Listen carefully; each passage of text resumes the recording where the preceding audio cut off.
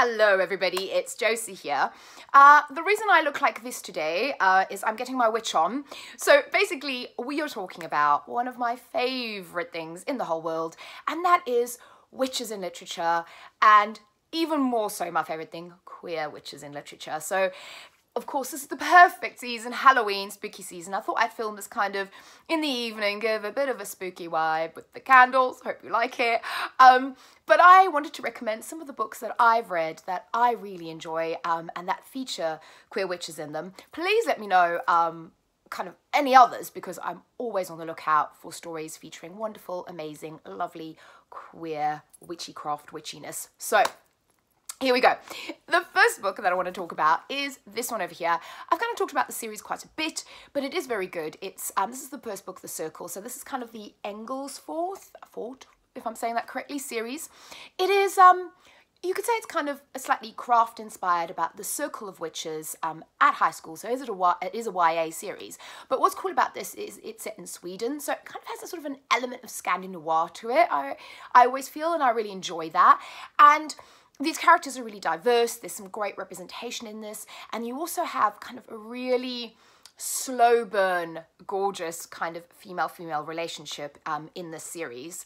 Uh, so I really enjoy it. There's kind of demons and witchcraft and the circle of, and it's all very heavy female orientated, circle of female witches. Um, but they're, yeah, it's, it's, it's great. I like that kind of Scandi twist on the whole kind of high school teen witch um, scenario. The next one, speaking of high school teen witches, again, is a book I do recommend a lot, but I love it and I couldn't not do it in this video, and that is The Lost Coast by Amy Rose Capetta.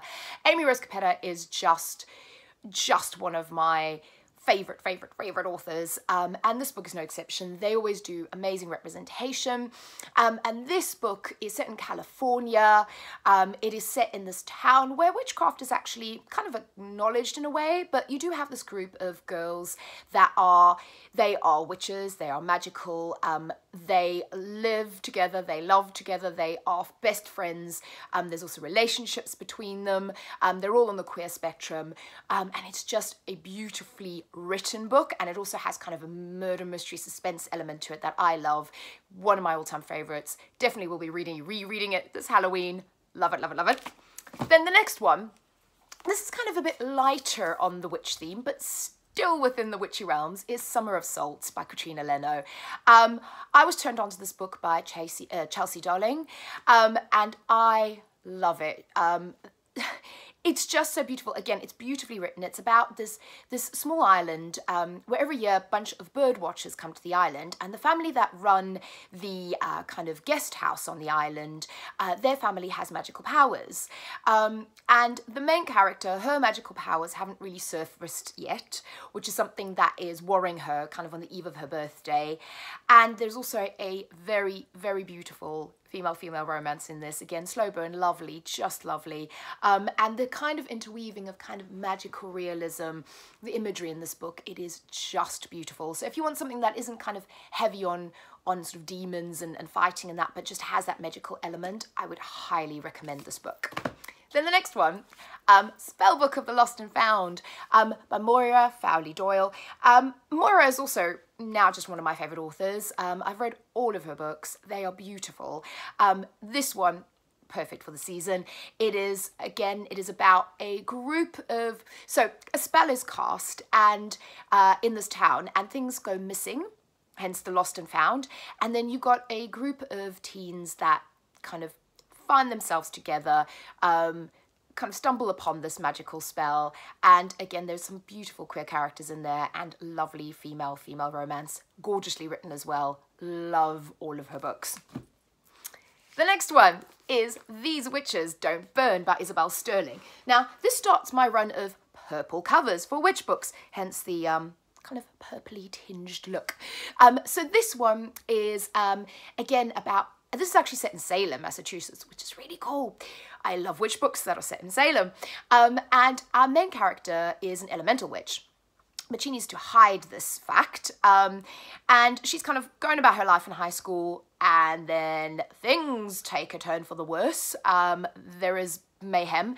Um, but also part of this plot is that she's trying to avoid her ex-girlfriend, who's also an elemental witch, and a new girl comes to town. So fabulously, wonderfully queer and just kind of, if you like, high school witchcraft. This is great. Um, the next one is Wicked Like a Wildfire by Lana Popović. Um, this book is just gorgeous and it has a follow-up Fierce Like a Firestorm, um, which I am dying to read as well. Um, but this one is about, well, I would say this is a bit practical magic-y. So it is about uh, two girls and well this is about women so this is I would say this is an adult book not a YA book and their mother is killed. And they're from a kind of a family of witches and a bit like in practical magic they're told that they're not supposed to uh, practice their witchcraft. Um, and they then find out after their mother is killed about their family heritage, their family line, how the magic kind of sits within their family, what goes on, and um, it's it's really good um, and it's really beautifully written, and I really want to know where this book goes. Then the next one I've got here is Toil and Trouble, 15 Tales of Women and Witchcraft. This is a short story collection, um, and this is the third in all of the uh, purple covers. Uh, this is great. This has got um, some queer stories in them. Uh, not all of the, the, stories are queer, but all of them are from a female perspective. Um, they're all these little vignettes, all magically inclined, all witchy inclined, um, and there's a few really lovely uh, queer female-female um, stories in this selection. The last one I've got in this pile is this over here. This is Sawkill Girls. Again, couldn't really do a, a video like this without Sawkill Girls by Claire Legrand. Love this book. This is about the island of Sawkill, uh, where girls have gone missing and uh, a new family comes into town and this girl starts to investigate what happened. Again, there's female-female romance and um, asexual relationship um, rep in this. I would say that the kind of the magic and the witchcraft element is not that there is a demon, there's a family that's serving a demon, um, but it's maybe a little bit different from the other um, witchy elements, but I just thought it it's perfect for the season and it kind of has that witchy tinge to it, um, so I wanted to include it and it's wonderfully queer. Um, so those are kind of the more novel books, actually. I'm lying. I've got two more that are also short story collections. So I wanted to mention these as well because uh, I, am not, I haven't had the best time with short story collections and these are two of my favourite, so they have to go in. And they actually have witch on the title. So this one is Witches, Princesses and Women's at, Women at Arms. So this one is definitely more adult. This is erotic lesbian fairy tale retellings. This is fantastic. If you want erotic, lesbian, fem female, female fairy tale retellings, this is the book for you. Um, there are witches, there are knights, there are, oh, there's so many different takes on some of the classic fairy tales that you might recognize. Um, but there's witches in this as well. Again, maybe not the traditional witchcrafty type of element, but really good. And then this one over here is Kissing the Witch. Um, and again, this is not necessarily not all the stories are necessarily about witches or witchcraft, but there are witches in this anthology. And again, it's kind of like a reimagining of fairy tales, but from the female perspective, um, from the women in the tales. Um, there's a couple of queer stories in here, um, but this is more, I would say this is slightly more on a feminist leaning in the way that in a lot of fairy tales, the female perspective is not the main perspective, where here this is, and they're taking some of almost the minor female characters and actually giving them their own um, their own voice. And I think Emma Donoghue does an amazing job of this. is my favourite book of theirs by far. Um, it's really really good. And then two more that aren't actually novels or short story collections but I thought I had to include them in this video. Is they're both by um, so this one is by Rebecca Tamás, and this is Witch. And this is actually a poetry collection. It is incredible. Um, it is just all about um, kind of witches and I guess it's it's feminism and and likening that to witchcraft.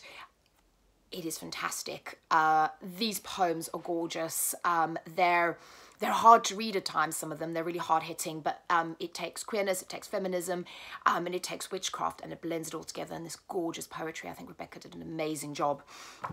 And then this one is actually edited by Rebecca and also Sarah Shin. And this is Spells, uh, 21st uh, Century Occult poetry. So again, um, this is this is my kind of poetry. Also, how stunning is that cover? Look at that, it's beautiful.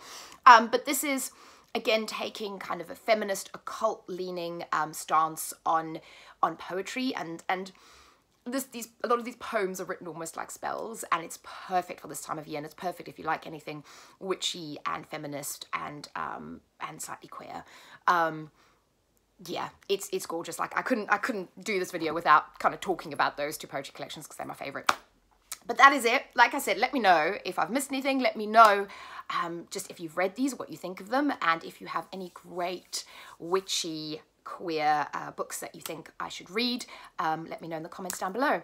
And have a wonderful, witchy, magical October. I will speak to you all again soon. Bye-bye.